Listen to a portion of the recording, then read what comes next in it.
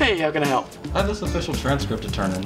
Okay, so the problem is it's not official because it's not in a sealed envelope. Oh, okay, thank you. Have a great one. You too. Hey, how can I help? I'm back, and it's in a sealed envelope this time. Okay. Um, the problem is it's not sealed. So I'm gonna need you to get one from your institution or your high school, and I'm sure that they can put an official seal on it, and you can send it directly to us through the mail at 1100 East 14th Street, PMB J8, Ada, Oklahoma 74820. You can also send a PDF version of it through Zap and Parchment to admissions at ecok.edu. If you have any questions or concerns, you can call us at 580 559 5301. Hey, it's great seeing you again. Yeah, I'm back for the third time, but this time it is an official transcript. Awesome, that's great to hear.